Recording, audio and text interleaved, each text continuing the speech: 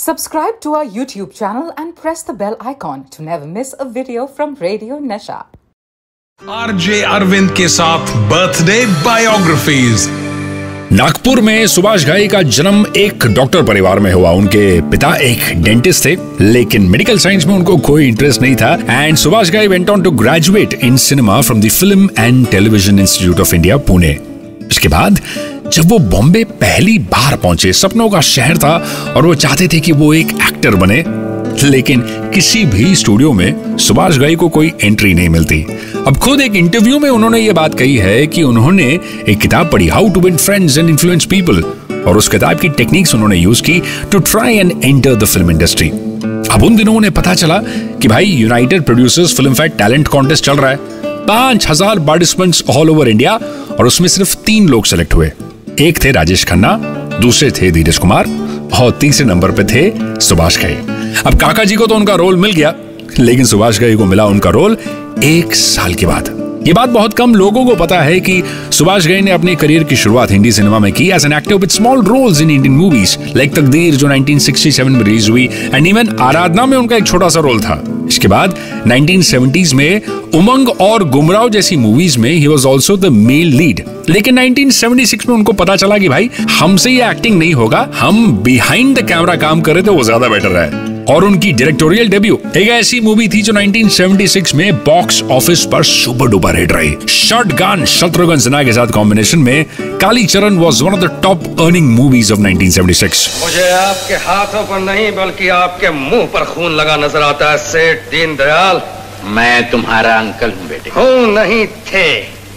ये मत समझिए कि एक रघु के मर जाने से आपके खिलाफ सारी गवाहियाँ जाती रहीं। मैं ज़मीन, आसमान, एक करके भी आपके खिलाफ सारे सबूत इकट्ठा करूँगा और तब आपसे बात करूँगा।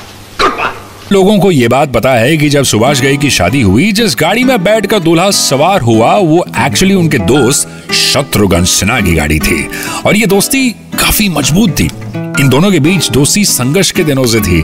काली चरण हिट होने के बाद 1980s और 1990s में दिलीप साहब के साथ उन्होंने कोलैबोरेट किया। अब 1982 की विदाता या फिर 1986 का कर्मा या 1991 का सौदागर कौन बोल सकता है? हम तुम्हें मारेंगे और ज़रूर मारेंगे।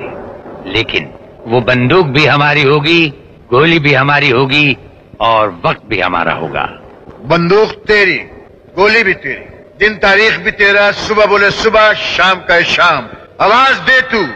वीर सिंह तेरे को सामने खड़ा मिलेगा। And thanks to Subhash Ghai कि हमें जैकी श्रॉफ मिला as leading actor in Hero 1983 में। और अनिल कपूर को एस्टैब्लिश किया उन्होंने in movies like Karma Ram Lakhan या फिर मेरी जंग दरअसल बात यह है कि इतने लोगों से मिलना जुलना रहता है कि सारे चेहरे याद रखना भी मुश्किल हो जाता है। कोई बात नहीं। मुझे तो सब याद है ठकराल साहब और 1997 में परदेश शाहरुख खान और महिमा चौधरी के साथ वैसे सुभाष घई की फ़िल्मों में एक और चीज़ बड़ी कॉमन है is the fact that the music is always super duper hit अब चाहे वो ताल हो या परदेश हो या यादें हो या even a movie like Krishna the music was always top class. Here, wishing the very talented Subhash Ghai a very happy birthday. Happy birthday to you.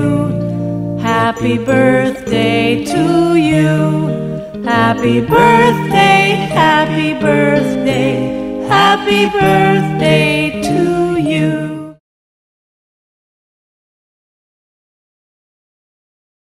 Radio Nasha.